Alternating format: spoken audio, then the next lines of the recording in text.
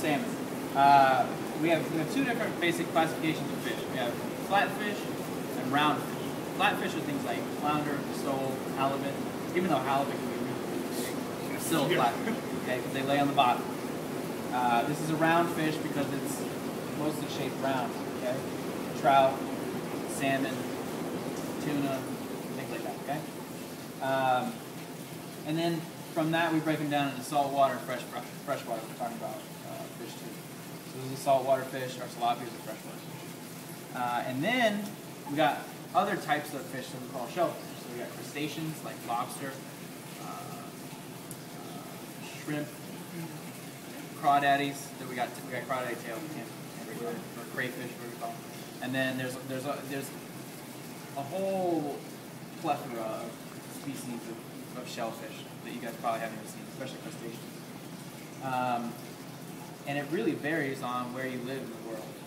The lobsters are different in Europe than they are here, uh, and even the ones that we get down south in Mexico are a little bit different than the ones we get up in.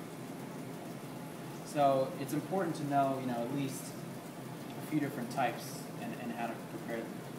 Um, and then we have things like mollusks. Mollusks would be clams, uh, mussels, oysters. Yeah, yeah, oysters. Snails, sea snails, yeah. mollusks. Okay, because we have bivalves, which are the ones that have the, the two shells. We have scallops, and, and then the snails are a different type. Um, and then we have cephalopods, which are also shellfish, and those are things like squid, octopus. So those are shellfish. They have a shell, it just happens to be inside. Yes. And if you ever if you ever break down a squid, you'll see they have a little. It, it, we call it a we call it a pen or a feather. It looks like a little. It actually looks like a little bird feather on the inside. What, what are those called again? Hmm? What are those called? Cephalopods? They don't. Oh, I thought it from the rocks. Yeah, they grow It grows in the ground. Truffles are mushrooms. Yeah. Like sea urchins, something like that. Sea urchins. Pretty sure that uh, sea urchins? I don't think. I think sea urchins are different type. I'm sure how to classify the sea urchin. But for the sea urchin, we only eat its uh, its growth. Okay. So let's break this guy down. I'm tired of petting. So I want to make sure this guy is pretty dry. And the way that we do this in the kitchen is a lot different than the way you see him do it at the fish market. We even use different knives, we use different technique. Uh, and it just really depends. There's a lot of different ways to break down a fish. Today I'm going to show you a way that you've probably never seen before. Um, what we look for when we buy a fish, though, especially if, especially if we're buying a whole fish, we take a look at the eyeball. Make sure it's nice and clear. If it's really cloudy, it means it's either been on ice for too long, probably maybe it's been frozen a little bit, or also it, it may have been just been sitting out too long and used. So we make sure that the eye is really nice and clear, and then we take a look up underneath on his gills. His gills really shouldn't be brown; it should be nice and bright red. This one's so you know it's kind of it's kind of red, kind of brown. Uh, not not too bad. Uh, but if you notice that they're like gray or like super nasty and they stink, uh, no good. So then you want to smell the fish. It should not smell like fish. It should smell like the ocean. Okay, it smells nice and fresh. This one smells beautiful. Okay, you always want to smell it because if it smells icky, then don't mess with it. It's not right. Uh, also, we touch the fish on the outside. It should feel moist. It shouldn't be dried out because it's been dried out. It's been sitting out too long. It shouldn't be like wrinkly, dried out skin, and it shouldn't be slimy either. It shouldn't have like a layer of uh, opaque slime on it because that means that it's also been used in some way. So this one's really nice and moist, and then we poke the flesh. Not hard because we don't want to bruise it, but we poke it. It should spring back, right? Like it's still like it's still alive. If you put your finger in there and finger just goes straight in and it makes an indentation and stays in there, then that, that's another indicator that it's not exactly the freshest piece of fish. And then we look at the fins, right? Take a look at each fin uh, and make sure that this guy doesn't have any kind of signs of disease. So the fins should all be intact when you buy your piece of fish. And these guys look pretty good. Okay? Be really careful when you check the fins because especially on this guy and those tilapia, they have really spiky fins on the top and they get infected really easily when you get cut with one of that. So you just always be really careful and don't ever try to go against the grain on the fin. Okay? Any questions about how to tell if fish is fresh? Also, take a look on the inside.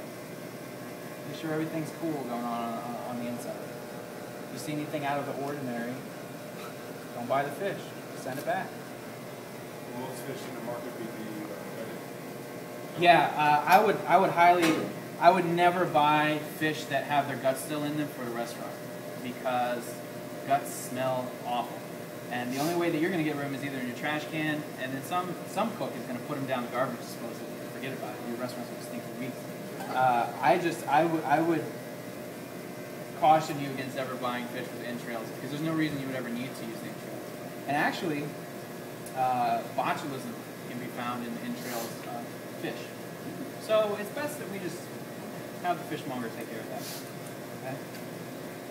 is that a special? I made the mistake one time of buying a bunch of flounder with the entrails still in there. Never a special knife you use? This? This is a red knife. So this is the same as your serrated. So why are you choosing to use a bread knife? I will show you.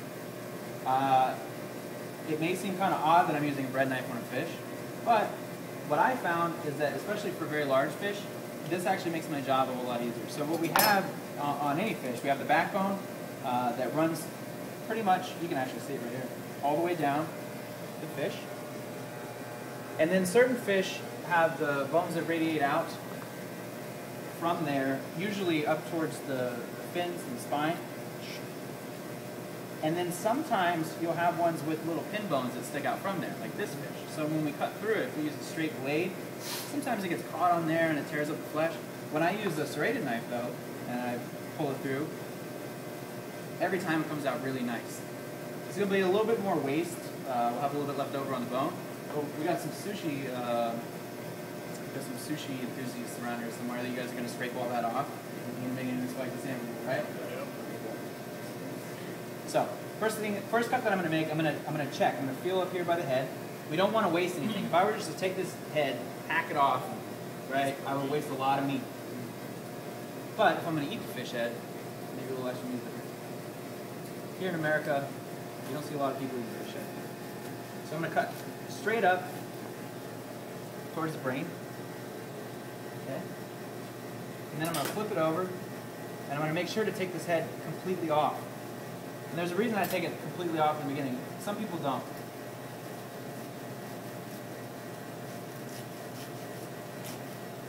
Okay, but I want to take it off in the beginning so that when I flip this fish over, after the first initial cut, I have this little shelf to work on. After the first initial cut, if the head's still on, then uh, it pushes the body up, and it's hard to get that second piece nice, nice and clean off there. So there's our fish head. Did I get you? There. fish heads. You're in the splash zone. Don't worry, you won't die. Uh, and then, and then again, I just, I just go through and I make sure that it's really nice and dry. So if I had just cut that off, look at all I need that over. So filleting a salmon is actually quite easy. Uh, and a lot of the times when people run into trouble with it, it's because they feel a little bit nervous and then their knife cuts get a little shaky. So just believe in yourself. I'm gonna take, I'm gonna find that spine bone that's right there, and I'm gonna use that as a guide. And you can hear those little, you can hear that little crunch, right? I'm gonna make sure that the belly's up so that I'm not cutting through the belly meat. And then I'm just gonna cut all the way down, using the backbone as a guide. So I'm resting the knife on the backbone, the spine, and you can hear it, and you can also feel it. When I get down here, I want to make sure that I'm above that anal fin. That fin. Okay? And then all the way down to the bottom. Right? And I'm going to pull it off. Have a nice, clean salmon. Right? Beautiful, right? I told you, you guys were worried about the serrated knife. You're like, this guy's an idiot. But that's what I said the first time I saw somebody do it too. I haven't seen a lot of people do it. I'm like, what is this guy doing? Right tool for the right job. This is the perfect tool for the job. And your guys' bread knives are good too. So it comes out really nice, but you'll notice that there's some bones right up underneath here. And there's there's gonna be a little bit of waste, but not if we get to it and we work with it, right? We can scrape all this off and you guys can utilize that, right? Use a spoon. so I will let somebody else do the other half. So put this right here. We wrapped our station in plastic wrap. Keep it all nice and clean. And then the next thing that we have to do is we have to go through with our knife, and this time we won't use the we won't use this knife because this will tear the meat up.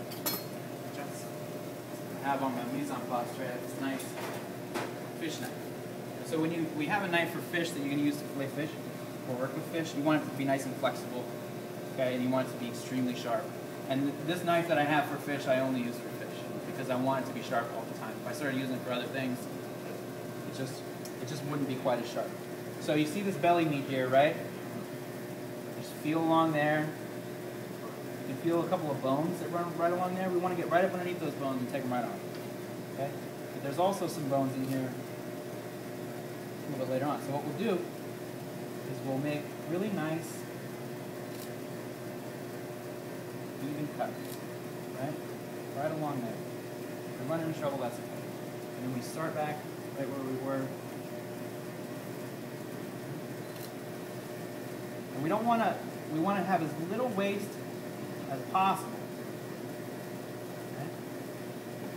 Notice I use just one direction, really nice long stroke.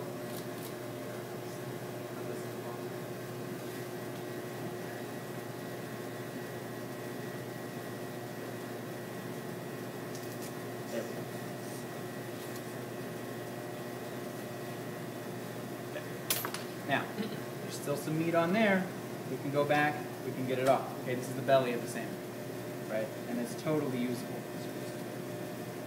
There's another way that you could do the fish if you wanted to keep that all intact, where, because we're going to portion all this out, so so it's a, do pan roast. And so now everything's in a nice, pretty easy to portion out on the same size. But if we wanted to, we could go along and instead of cutting all the way straight down, we could start from the back, just like we do with our chicken. Start peeling it away all the way down to the bottom, and then you'll have the belly still attached. And you won't have to go through the trouble of taking off the bones. But that's a, that's a different story. So, who wants to volunteer to do this one? Scared? I'll do it.